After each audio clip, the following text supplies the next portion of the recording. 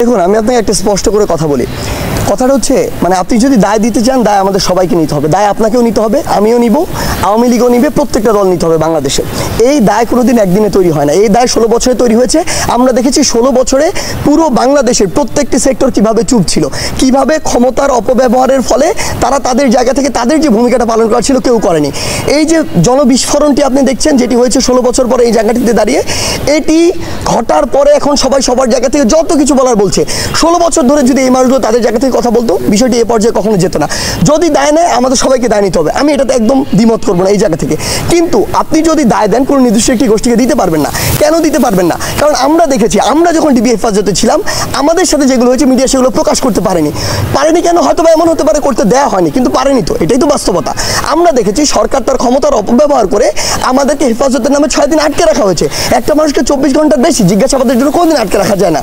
সেটাতে এই যে একটি প্রেশার ক্রিয়েট করার যতটুকু বিষয় ছিল, সেটি করা হয়নি।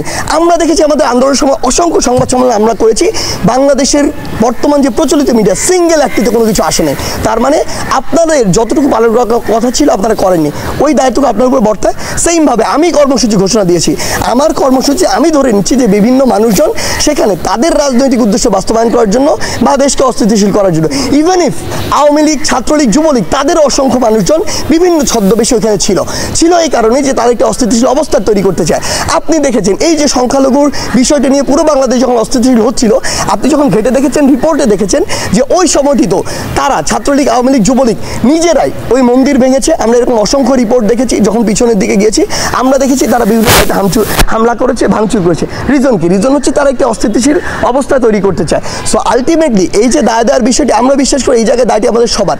তবে আমরা এটুকু বলছি, আপনি যেটি বললেন যে এই শখ পালন করার উচিত কিনা, আজকে দুই হাজার চব্বিশ সালের এই গণ অভ্যুত্থানে আওয়ামী লীগের যেসব নেতাদের উপরে আমি বলছি যে অত্যাচার হয়েছে, ধরে নিলাম, তারা দেশ ছেড়ে পালিয়েছে, তাদেরকে মামলা দেওয়া হয়েছে, এই যে ঘটনাগুলো হয়েছে, এটার জন্য কি এখন আমরা শোক পালন করব?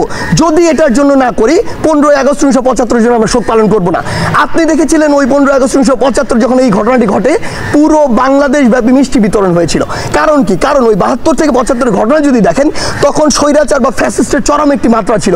ইতিহাস ঘাটলেই আমরা এটি দেখতে পাই যে তখন আসলে আলটিমেটলি যা হয়েছিল, এক জায়গার নির্দেশ থেকে হয়েছিল। এটি বাংলাদেশের মানুষের কোনো ইয়া ঘটেনি।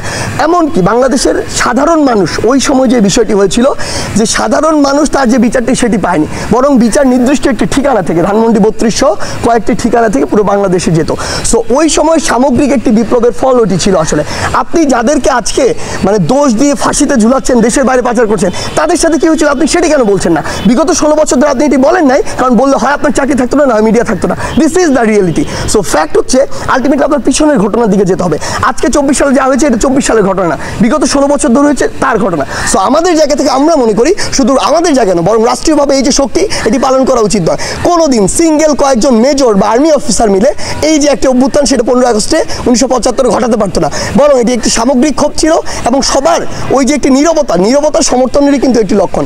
সেই জায়গা থেকে আমরা বিশ্বাস করি যে এই আপনি যে কথাটি বলছেন, এটিতে আমরা সমর্থন করি না।